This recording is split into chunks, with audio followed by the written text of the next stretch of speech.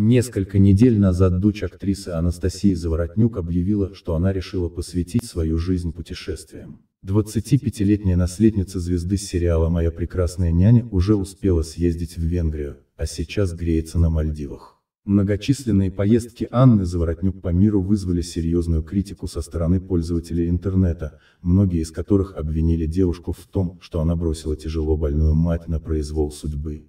Накануне Анна впервые ответила критикам, обосновав свое решение и признав, что оно, возможно, было ошибочным. Хотела ответить тем, кто пишет мне о том, что я отдыхаю, что я улетела. Может быть я что-то делаю неправильно в своей жизни. Моего эмоционального, материального состояния хватает вырваться вот так к морю, просто отдохнуть от всего, что происходит, и перезагрузиться. Будьте чуточку добрее, написала Заворотнюк-младшая.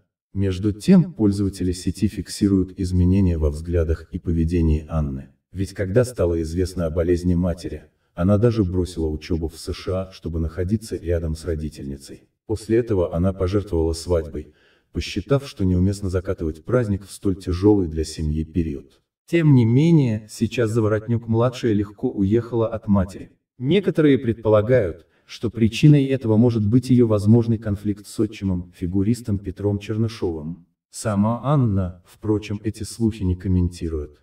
Ее больше заботят другие вещи.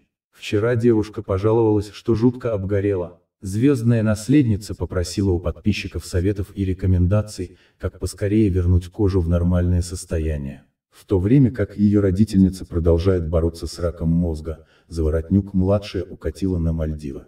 Сегодня Анна впервые ответила тем, кто ее критикует.